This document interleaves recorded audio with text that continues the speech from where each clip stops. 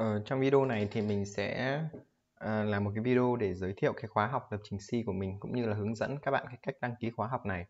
Thế thì trước đây á à, mình cũng có dạy các cái lớp lập trình C nhưng mà trên Zoom nhưng mà thời gian của mình bận quá không có, chỉ có dạy được buổi tối. Cũng có nhiều bạn nhắn tin hỏi khóa học C nhưng mà mình cũng có bảo các bạn ấy đăng ký C cộng cộng nhưng mà các bạn ấy chắc là trường yêu cầu học C hoặc là họ có nhu cầu học C thôi Đó, và muốn bắt đầu nó chắc chắn hơn một chút nên là trong khoảng tầm 3 tháng vừa rồi thì mình đã quay xong cái video cho cái khóa học lập trình C này. Thì các bạn có thể truy cập vào cái địa chỉ là khóa học 28 tech com vn. Ok. Thì nó sẽ ra cái trang chủ của mình. Sau đó các bạn có thể ấn vào cái khóa học online này này. Đó. thì nó sẽ hiện thời bây giờ mình đang có mỗi khóa là C thôi.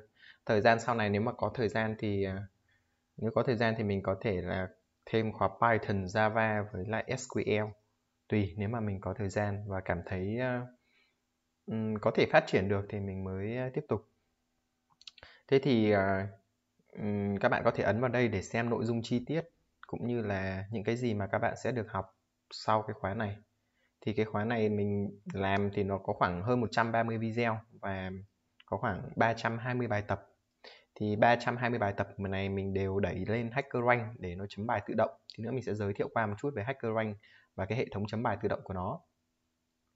Thì các bạn có thể đọc được những cái gì mà các bạn sẽ học được sau cái khóa học này. Cái khóa học này thì mình không có nói khóa học này là khóa học lập trình C, bởi vì nó không chỉ đơn thuần là nó cung cấp cho bạn kiến thức về ngôn ngữ lập trình C đâu. Nếu mà bạn học ngôn ngữ mà bạn chỉ biết mỗi cú pháp thì nó không, mình đánh giá đấy không phải là học lập trình đấy là các bạn học ngôn ngữ thôi. Thế thì những cái mà các bạn có thể đạt được sau khóa học đấy chính là sử dụng thành thạo ngôn ngữ lập trình C cái này là phải chắc chắn rồi. Cái quan trọng hơn đấy chính là cái nền tảng kỹ thuật lập trình vững chắc và nâng cao tư duy logic cũng như là khả năng giải quyết bài toán của mình. Đó và nó cũng giúp cho các bạn học cái cách giải quyết bài toán một cách tối ưu. Thế thôi. Đó, thì cái khóa học này nó xây dựng cho các bạn một cái nền tảng cực kỳ vững chắc. Và các bạn có thể làm quen với cái nền tảng chấm bài uh, như là HackerRank hoặc là sau này các bạn có muốn phát triển thêm đó. thì các bạn cũng quen với cách mà làm bài trên các cái online search hiện nay. Thì học xong C thì các bạn sẽ nhanh chóng tiếp cận với C, C cộng rồi Java rồi Python rồi PHP rất là dễ thôi. Đó thế còn ờ, ở đây mình cũng giới thiệu khóa học các bạn có thể đọc thêm nhé đó nhìn chung là cái khóa học này tập trung vào bài tập. Tất nhiên là lý thuyết nó cũng cực kỳ là đầy đủ và chi tiết và rõ ràng nhưng mà quan trọng hơn đấy chính là bài tập mình thấy các cái, mình cũng đã tham khảo các cái khóa học về C ở những nơi khác và họ cũng, mình cũng đã tham tham khảo qua nội dung. Nhưng mình thấy là nội dung lý thuyết nó không đầy đủ. Thứ hai đấy chính là bài tập quá ít và dễ quá. Hơn nữa là nó không có cái hệ thống chấm bài tự động. Thì nhiều khi các bạn làm bài các bạn không biết đúng sai. Ok. Và mình thấy mình, thực sự là những cái khóa học đấy thì so với cái khóa học à, những cái video về lập trình C ở trên YouTube của mình có khi còn thua. Thế thì à, cái nội dung khóa học thì các bạn có thể xem từng bài từng bài một là mình sẽ dạy cái gì thời gian là bao nhiêu. Tất cả các cái bài tập gồm 320 bài tập này sẽ được uh, giải một cách chi tiết. Tức là thường là một video mình sẽ giải 5 bài uh, mình sẽ chia thành các cái con test tí nữa mình sẽ giới thiệu cái con test đấy. Thì nó có mấy phần chính. Phần thứ nhất là kiểu dữ liệu về biến vòng lặp thì các bạn sẽ học hết những cái nội dung này. Rất là kỹ càng từng tí từng tí một. Rồi là từng con test ví dụ như con test một có bao nhiêu bài thì mình sẽ chữa hết từng con test từng con test một đó, ok. Sau đó thì nó cũng có những kiến thức nâng cao như là lũy thừa nhị phân rồi modular arithmetic thì các bạn cũng phải học được. Đó, rồi là đệ quy này, rồi là mảng một chiều, mảng hai chiều, các cái thuật toán tìm kiếm sắp xếp. Ví dụ như là sàng số nguyên tố cũng có này, rồi là sắp xếp chọn, sắp nổi bọt, chèn, đếm phân phối, trộn nhanh. Rồi là các cái thuật toán tìm kiếm nhị phân cũng như là biến đổi của nó. Bởi vì mình thấy các cái khóa học về lập trình C họ ít nói đến cái vấn đề thuật toán tìm kiếm nhị phân hay những cái thuật toán sắp xếp khó như là trộn hay là sắp xếp nhanh nên là mình cũng cho vào đây. Đó. Và quan trọng hơn đấy là mình nghĩ là khi mà các bạn code ngôn ngữ lập trình C, các bạn phải biết sử dụng hàm quicksort cũng như là xây dựng comparator cho nó nên mình cũng đặc biệt chú trọng vào cái phần này. Thế cái con test về cái phần mảng một chiều, mảng hai chiều với lại là sắp xếp tìm kiếm này nó rất là nhiều bài tập, các bạn có thể tham khảo.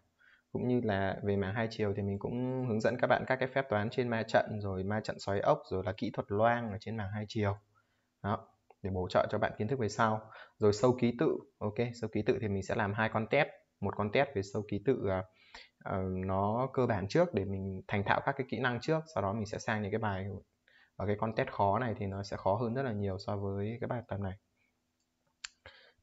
Rồi sau mà xong uh, mảng xong sâu ký tự thì các bạn có thể học về cấu trúc ok cấu trúc.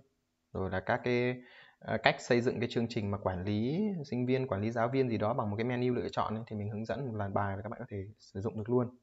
À, sau đó thì mình sẽ học về ứng dụng của con trỏ và danh sách liên kết. Thì mình có danh sách liên kết đơn danh sách liên kết đôi và nó có tất cả là 10 bài. Ok tất cả 10 bài. Nhưng mà cốt nó rất là dài cái phần danh sách liên kết đơn danh sách liên kết đôi này này cái con test của nó cốt rất là dài.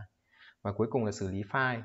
Thì mình sẽ chia ra làm file text với file nhị phân thì mình cũng có để một cái phần à, kiến thức bổ sung để nếu mà các bạn học mà các bạn cảm thấy thiếu phần nào thì các bạn có thể bảo mình thì mình sẽ bổ sung thêm một hai video nữa là xong, không vấn đề gì. Ok, nhìn chung là các bạn cứ yên tâm về cái lý thuyết của nó và đặc biệt đấy là bài tập của nó không hề đơn giản một tí nào. Nó có khoảng tầm 100 đến 120 bài là khó. Ok 100 đến 120 bài là khó. Thì lúc nãy mình cũng có tính sơ qua về thời gian của nó ấy. thì thời gian của nó là 135 giờ. 135 giờ. Ok số lượng bài giảng thì hơn 300 130 một tí bài tập thì khoảng 3 hơn 320 tài liệu thì nó có bao gồm slide các thứ các bạn có thể xem cái slide nó cũng được. Uh, kiểu các slide này mình sẽ đẩy lên đấy xong các bạn có thể đào về và xem. Đó, ngoài ra nó còn có link content nữa tức là link bài tập từng phần từng phần một đấy Đó, các bạn có thể uh, tham khảo thế thì cái content tức là cái bài tập ở trên cái khóa học này này thì mình sẽ đẩy lên trên HackerRank à, ok mình đẩy lên trên HackerRank thì cái các bạn sẽ có cái link content đấy để làm. Thì cái bài tập nó kiểu dạng như thế này. Nó sẽ có chấm bài tự động và các bạn chỉ cần nộp lên và HackerRank nó sẽ tự chấm cho các bạn là đúng hay là sai. Và cũng sẽ có một cái group để mà các bạn có thể hỏi bài tập khi mà các bạn gặp thắc mắc. Ok hiện nay thì cũng có tầm 18 19 bạn đã đăng ký học của mình rồi. Mặc dù mình cũng chưa đăng lên cũng mới hoàn thiện website thôi. Ờ, thì, kiểu, cái trang HackerRank này các bạn hiểu, nó là một cái trang chấm bài tự động ấy, rất là nổi tiếng trên thế giới. Và các bạn có thể code và nộp bài luôn ở trên này và nó tự chấm cho các bạn là đúng hay là sai. Đấy. thì các bạn có thể xem đây, ví dụ như trước đây những cái bạn mà học của mình, các bạn ấy nộp bài và submit ở trên này thì nó sẽ chấm bài tự động là đúng hay là sai thì các bạn có thể tự đánh giá kết quả của mình. Và những cái bài tập ở trong contest 320 bài này thì mình sẽ chữa hết. Kiểu như kiểu các bạn làm contest đúng không? Các bạn không giải được, không có solution thì các bạn có thể tham khảo lời giải hoặc là các bạn cảm thấy giải nhưng mà cốt của bạn dài quá và chưa tối ưu, mà bị chạy, bị time limit, bị quá thời gian thì các bạn có thể xem các cái lời giải của mình. Các cái bài đều có giải hết. Đó. Ok. Thì mình nghĩ là nếu mà các bạn à, học cái khóa học này thì các bạn, nếu mà bạn nào chịu khó thì mất khoảng tầm 3 tháng các bạn sẽ học được hết những kiến thức ở trong khóa học này. Còn nếu mà lười lười một chút thì có có thể nó rơi vào khoảng tầm 4 tháng rưỡi 5 tháng, thậm chí 6 tháng. Thậm chí là một năm các bạn cũng không thể học hết được cái kiến thức ở trong cái khóa học này. Nếu mà các bạn vừa học vừa chơi và không tập trung. Bởi vì thực sự cái kiến thức của nó không có, nó không có đơn giản đâu. Mình có xem các cái khóa học khác rồi, họ cũng giới thiệu bài tập nhưng mà chỉ có giải phương trình bậc nhất, giải phương trình bậc hai rồi là vòng lặp A, vòng lặp B, như thế, những cái bài nó đơn giản quá. Thực sự là như thế. Ok, nó không còn phù hợp với cái cách học lập trình bây giờ nữa. Học lập trình bây giờ các bạn phải giải nhiều bài tập mà nó khó.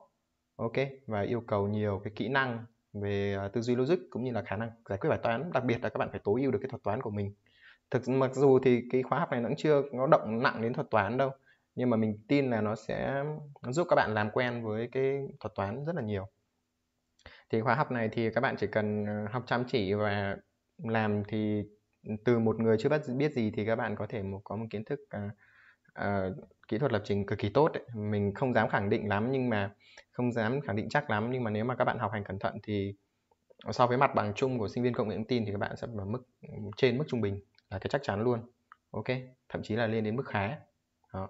và nếu mà bạn chưa biết gì về lập trình thì cũng có thể tham khảo khóa học này Đó. mình nghĩ là cái khóa học này nó, bài tập của nó khó hơn mình cũng chưa biết được hết những cái khóa, các cái trường đại học họ dạy kỹ thuật lập trình như nào, nhưng mà với những cái trường mà mình đã biết thì cái nội dung khóa học này thì nó sẽ đảm bảo cho các bạn ok Đó. bạn sẽ học xong khóa này, các bạn có thể thoải mái làm các cái bài tập liên quan đến kỹ thuật lập trình ở trường đại học của mình hoặc là ngôn ngữ lập trình C hoặc C cộng cộng gì đó. Mặc dù nó, mình cốt hoàn toàn bằng C nhé 100% bằng C, mình không muốn lẫn C với C cộng cộng. Ok, không muốn lẫn C với C cộng cộng. Thì các bạn học xong C rồi, các bạn học C cộng cộng thì nó cũng nhanh thôi, chuyển sang C cộng cộng nó nhanh thôi. Hiện thời mình đang để cái giá là khoảng 700 nghìn. Thì mình nghĩ là cũng tầm ờ, 400 thì nó hơi rẻ. 4 500 thì nó hơi rẻ và nó, thực sự là nó không xứng đáng với những cái kiến thức và những cái nội dung mà mình cung cấp ở trong này. Nên là Ừ, các bạn có ý kiến gì không về cái giá tiền của khóa học này? Nếu mà các bạn không có điều kiện thì có thể tiếp tục học cái khóa học lập trình C ở trên playlist chi ở trên YouTube của mình. Nếu mà muốn nâng cao hơn trình độ cũng như là có thể ủng hộ mình chẳng hạn thì các bạn có thể đăng ký khóa học này, các bạn có thể trao đổi và luyện tập nhiều hơn. Ừ, các bạn yên tâm đi nhé ok, yên tâm về cái phần kiến thức với nội dung của nó đi. Bởi vì mình làm free ở trên YouTube thì các bạn cũng biết cái chất lượng rồi, đúng không? Thì khi mà làm một khóa học để mà thu tiền của các bạn thì nó phải khác. Ok. Thì các bạn có thể tham khảo cái nội dung của khóa học ở trên cái trang mà cái địa chỉ là khóa học hai tâm com vn nhé thì các bạn sau khi mà các muốn đăng ký thì các bạn chỉ cần tạo cho mình một cái tài khoản là được. Ví dụ như ở đây các bạn có thể vào mà các bạn tạo một cái tài khoản nhé ok các bạn tạo một cái tài khoản. Sau đó thì uh, các bạn mua hàng như bình thường thôi. Ví dụ như bây giờ mình muốn ờ, đăng ký một cái tài khoản gì đó tên là Hoàng Văn Long ví dụ thế. Tài khoản là Long HV ok, mật khẩu email là hoàng văn long a gmail.com và số điện thoại thì mình nhập bừa một số gì đó. Ok, mật khẩu thì mình đặt là long hv long hv thì ừ, như thế bạn đã đăng ký được một cái tài khoản rồi. Ở đây mình cũng không yêu cầu các bạn phải xác nhận email đâu nên các bạn có thể uh, đăng ký một cái tài khoản. Thì um, nó có một cái mã khách hàng này, chỗ này này. Đó. thì sau khi mà các bạn vào khóa học này nếu mà các bạn muốn uh, đăng ký học thì các bạn có thể ấn vào đăng ký học chỗ này. Ok. Đó sau đó bạn sang phần thanh toán. Sau phần thanh toán này thì các bạn có thể chuyển khoản ngân hàng cho mình thông qua cái số tài khoản này hoặc là các bạn có thể quét Momo. Uh, sau đó thì các bạn ấn hoàn tất thanh toán là được.